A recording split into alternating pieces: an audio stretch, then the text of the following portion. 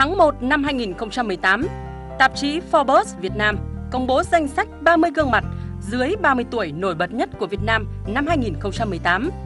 Trong đó có Bùi Quang Huy, đồng sáng lập công ty công nghệ Rikeshop, một trong 8 gương mặt nổi bật thuộc lĩnh vực khởi nghiệp.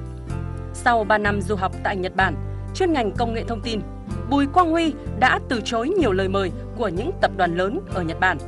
Huy quyết định trở về Việt Nam để khởi nghiệp.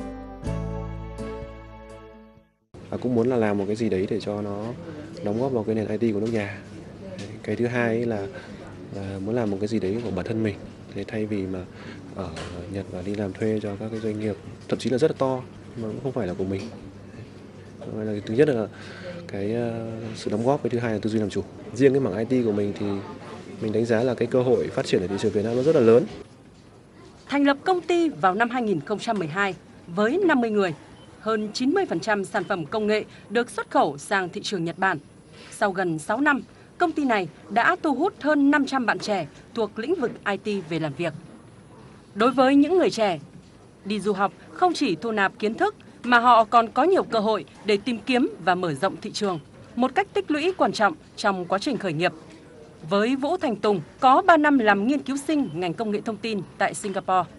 Tùng từ chối ba lời mời từ ba tập đoàn lớn của Mỹ, Nhật Bản và Singapore để về nước làm việc và tìm kiếm cơ hội.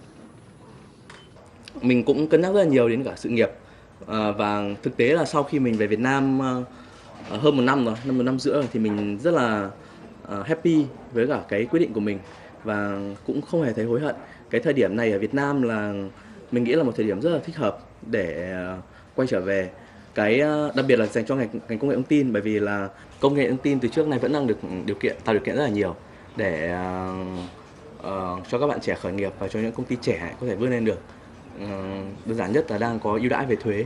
Thế tuy nhiên thì để các bạn trẻ về Việt Nam hơn thì theo mình nghĩ là cần phải có những cái môi trường chính sách nó ưu đãi hơn cho các bạn tự thân khởi nghiệp về mặt uh, thủ tục giấy tờ cũng như là có những cái support về nguồn vốn ban đầu chẳng hạn đối với cả các cái ờ, startup thì vốn là điều rất quan trọng.